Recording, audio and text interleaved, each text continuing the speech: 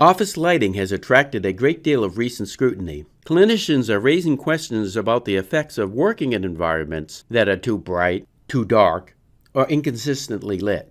Others are concerned that the recent trend to replace traditional incandescent bulbs with energy efficient LED and fluorescent lights may be increasing the risk of eye strain and related symptoms.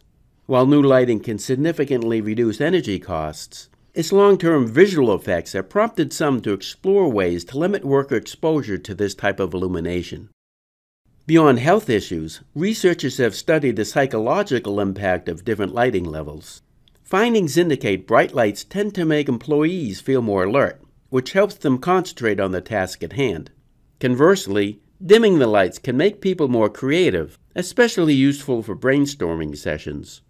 Therefore, adjusting illumination to the level appropriate for the activity may, at least in theory, promote worker performance.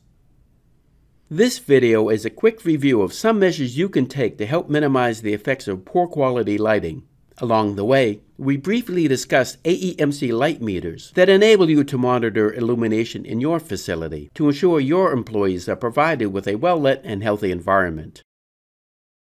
When discussing lighting, it's important to understand the distinction between the terms illuminance, luminous flux, and luminous intensity. Luminous flux is the total amount of energy emitted from a light source in all directions. Luminous flux is measured in units called lumens. Luminous intensity is the amount of light emitted by a light source in a specific direction. This is measured in candelas. Illuminance is the amount of incident light spread over a given area. This is measured in lux, equal to 1 lumen per square meter, or foot candles, 1 lumen per square foot. To help visualize the relationship between these terms, it may be useful to compare a light source to a lawn sprinkler that sprays water in all directions.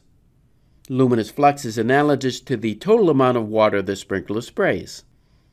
Luminous intensity corresponds to the amount of water that flows out of a single hole in the sprinkler head and illuminance is the amount of water that falls on a given area of the lawn. The U.S. Department of Labor's OSHA standard calls for minimum illumination levels for a number of different venues, including general construction areas, indoor warehouses, tunnels and other underground work areas, workrooms, first aid stations, offices, and others. In addition to these minimum levels, it can be equally important to be mindful of the appropriate maximum illumination for environments such as workplaces, a topic we'll address shortly. Although research is still ongoing, evidence appears to be mounting about the potential health risks associated with LED and fluorescent lighting. For example, medical researchers have found that prolonged exposure to LED lights may cause irreparable damage to the retinas of the human eye. LEDs typically produce light in the high energy blue and violet end of the visible light spectrum. Light from this spectral region can be particularly damaging to structures within the eye. In addition, LEDs do not produce near infrared radiation, which many medical professionals believe is necessary for overall health. Fluorescent lighting has also been studied for its potential detrimental health effects. For instance, some fluorescent lights emit high levels of ultraviolet radiation, which has been cited as potentially damaging to vision. One study estimates that fluorescent lighting may increase UV related eye diseases by up to 12%. And as with LEDs, fluorescent lights produce a rather limited spectrum. As a result of these and other potential health issues, many are paying special attention to the levels of LED and fluorescent lighting in their facilities. The typical office environment where employees spend hours on computers presents special lighting challenges. The average office illumination ranges between 75 and 150 foot candles. This is significantly higher than the recommended levels for working with computers. For instance, the suggested illumination for working with a computer display with a dark background is 18 to 46 foot candles, while the recommendation for displays with white backgrounds is 50 to 75 foot candles. When the room is too bright for the computer, users often experience visual discomfort and related symptoms. Perhaps even more important than brightness level is intensity evenness. In other words, maintaining an environment in which all objects in your field of view are more or less of equal brightness.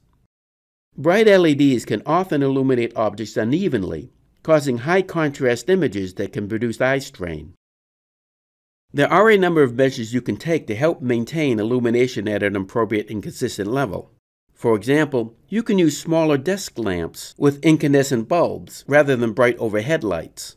If you install auxiliary desk lighting, use low wattage and aim the light in a direction that does not directly enter your eyes or illuminate the computer display screen. Add blinds or drapes on windows. Adjust these throughout the day to admit the appropriate level of light. Orient workstations to avoid direct viewing of bright lights while minimizing screen glare and reflections. Avoid white reflective surfaces in favor of matte desktops, furnishings, ceilings, and walls. If bright overhead lights cannot be dimmed or eliminated, advise employees to wear a visor to shield their eyes. When working with a computer, adjust the screen brightness and contrast to maximize character definition and resolution. Brightness should match the general background level of the room, if the screen appears to flicker, turn down its brightness level. Finally, advise your employees to take regular breaks from their computers and mobile screens. Some clinicians suggest 20 20 20 breaks.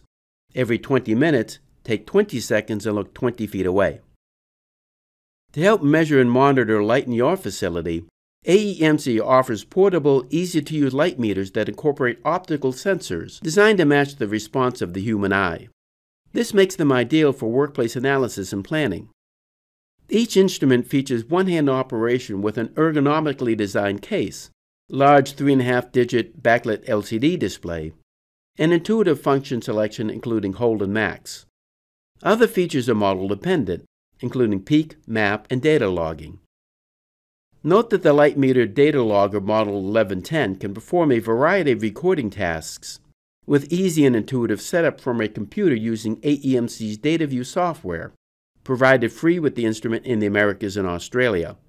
The Model 1110 also includes a map feature. This lets you plot the illumination for a two-dimensional space or surface. For example, in map mode, you can measure the illumination at specific points within a room.